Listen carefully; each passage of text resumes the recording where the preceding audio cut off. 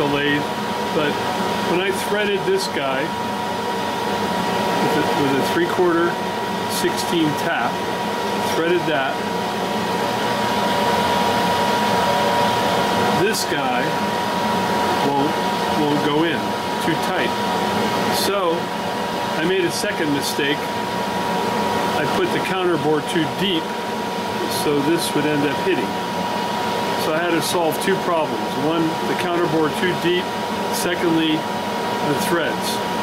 Now I was looking at going in and just cleaning the threads up here on the lathe, but my counter bore is too deep. So I ended up, I made a stub here. And I just got done threading it.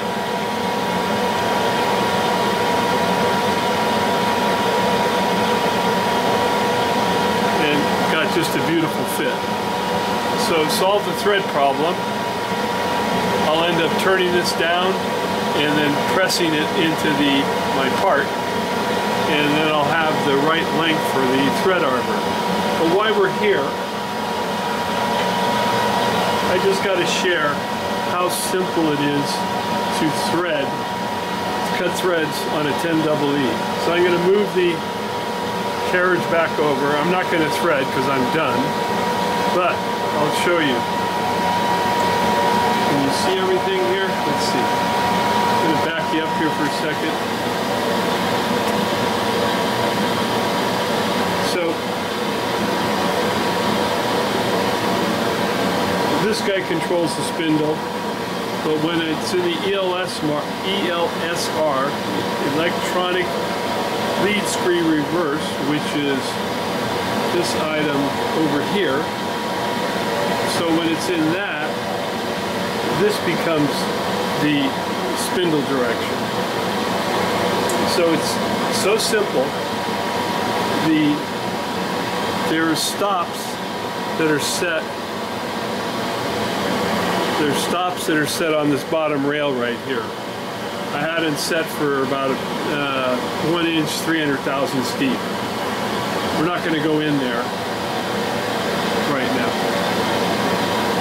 So, pretty simple. Your cross slide, it's got to stop. So when you come back, when I'm when I'm pulling towards me, I come back to the same stop every time. I don't have to look at the dial. I have it. I have it stopped. So as, after I cut the thread, move in a little bit, back the carriage out, bring it back. It's ready to go back in. Set the compound. How simple is that? The you leave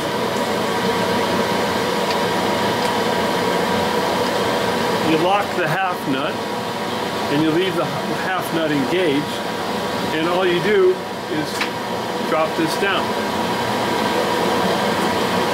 When the stop hits it, it'll stop the lathe in the exact same place every time, wherever that stop on the lower set. And you can set a stop in both directions. So I've just cut the thread, go in a little bit, I back back out, get out of the hole, come back in, set the compound, go back in. Cut the thread, stops it, go in, back it out, drop it down, come back. It's the least stressful threading you could ever do in your life. It's so simple once you have it set up. So anyway, I had to share that with you. Sorry for the noise on the lathe. It is a, uh, sorry for all the noise on the lathe, but I just wanted to show you that demonstration. Um, it, it is just a pleasure to cut lathes on a 10 double E. So I got to uh, turn the uh, diameter on this rod to what I need and then I'll press it and then I may press and pin. I, I'm going to decide how I'm going to put it back into my piece there.